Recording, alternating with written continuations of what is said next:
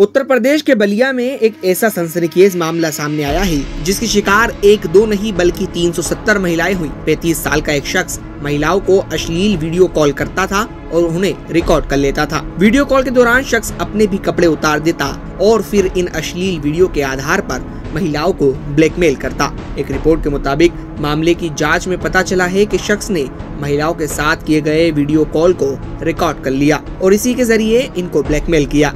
आरोपी ने पीड़ित महिलाओं को धमकी दी कि अगर पुलिस से शिकायत की तो वो वीडियो को उनके परिजनों को भेज देगा और सोशल मीडिया पर वायरल कर देगा। पुलिस अधिकारी ने बताया कि आरोपी की पहचान शिव कुमार वर्मा के तौर पर हुई है। उसने ग्रेजुएशन तक पढ़ाई की और स्टेशनरी की एक दुकान चलाता है। आरोपी ने पंद्रह अलग अलग जिलों में रहने वाली महिलाओं को वीडियो कॉल किया।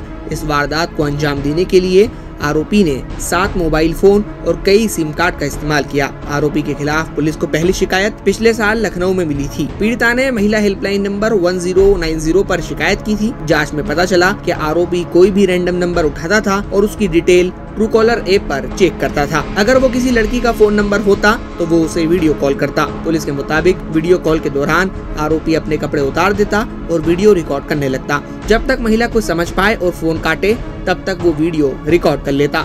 इसके बाद वो महिलाओं को ब्लैकमेल करता। आरोपी के खिलाफ आईपीसी की संबंधित धाराओं में केस दर्ज करके गिरफ़्तार कर लिया गया है।